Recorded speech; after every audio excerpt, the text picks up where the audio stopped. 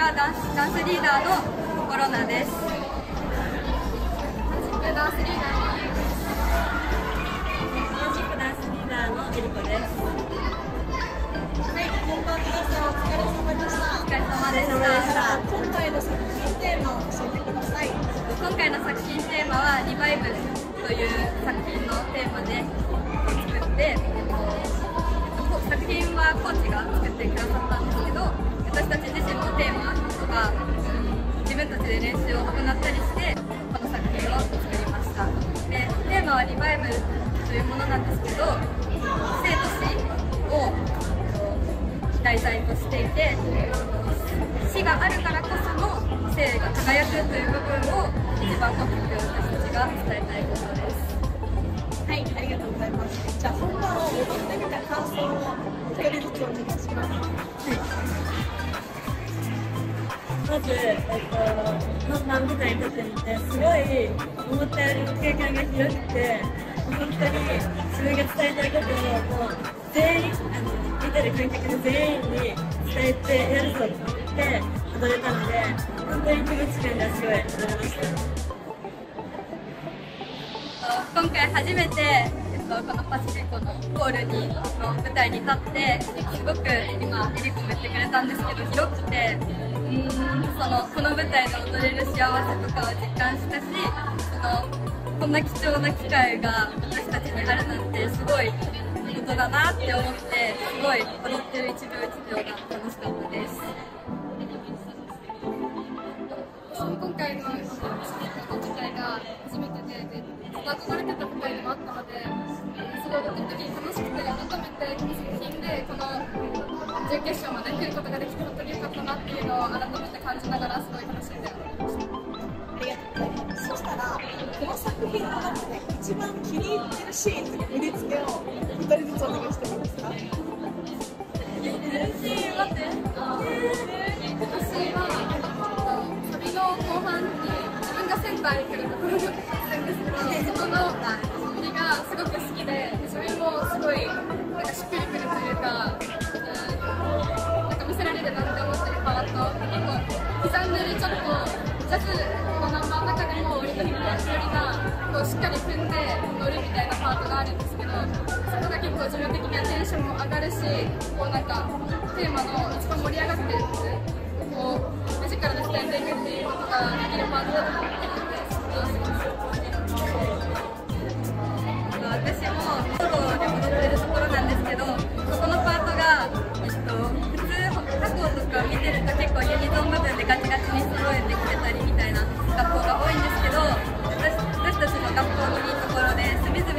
てもうん。どこ見てもすごい圧倒されるような構成と振り付けでそこがすごく自分の中でもうん。この作品ならではの場面ですごく。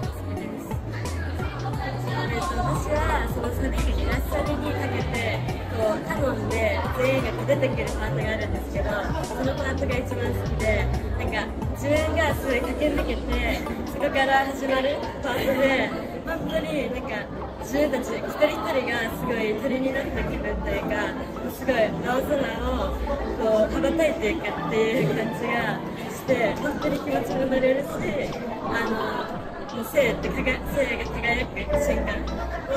実感できるパートなのでそのパートが一番好きです。ありがとうございます。今回すごい髪型もヘアメイクも一緒にこだわってると思うんですけど、こだわりのポイントを教えてください。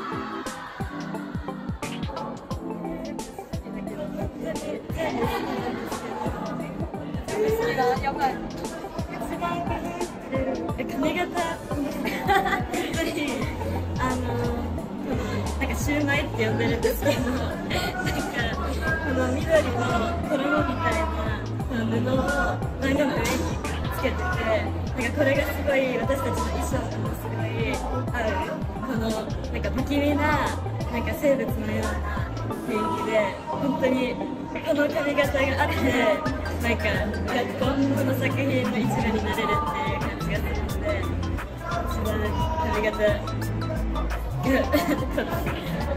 じゃあ、なんだろう、不気味な生物みたいなのをイメージした衣装。人じゃない人ではない生き物他の学校の衣装と人っていう感じが人を装飾してる感じがすると思うんですけどいい意味でこう人ではないなんか別の生き物みたいなものを表現しようと思ってこうなんかあんまり体のそうですね体とつながってたりとか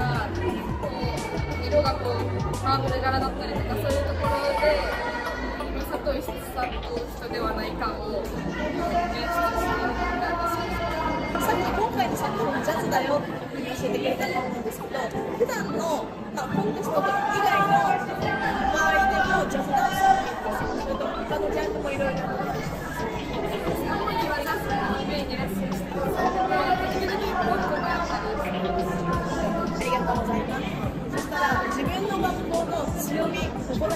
ポイントを教えてくださいなんかやっぱり他校と比べてそのお水の部分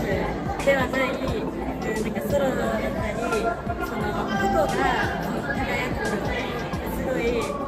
コーチのり付けコーチが作ってくださった振り付けですごい、うん、個々が輝くっていうのが私たちの学校の強さだなと思って。なんかあとはジャズっていうジャズではなくてなんか時にヒップホップみたいなすごい、えーグルームを含めた振りもすごい多くてなんかやっぱり、ジャズっぽいこうバレエさんバレエっぽいなんかあのジャズだけってい。う感じではなくてやっぱり他のジャンルもすごい入ってくる日すごい多いのでそういうところが強い。と他校と比べてすごくうんなんか自分の体で踊るってことをなんか大切にしててその踊れる楽しさがすごく分かる活というかチームだと思ってるのですごく私たちはこのチームが大好きです。はい、ありがとうございます。そしたら最後に、この部活としての今後の目標を教えてください。私たちがは今年引退なんですけど、うん、今回たくいろんなところで、えーと全国の大会まで進めて、うん結構歴代歴代に歴代初だった部分も結構あってすごく私たち自身もすごく楽しかったのでこの経験を後輩たちにもつなげていきたいので、うん、たくさん自分たちの踊る姿で後輩に伝えるのと言葉とか姿でどんどん後輩たちにどんどんアプローチしてその勇気を盛り上げていきたいです。バッチリです。皆さんありがとうございました。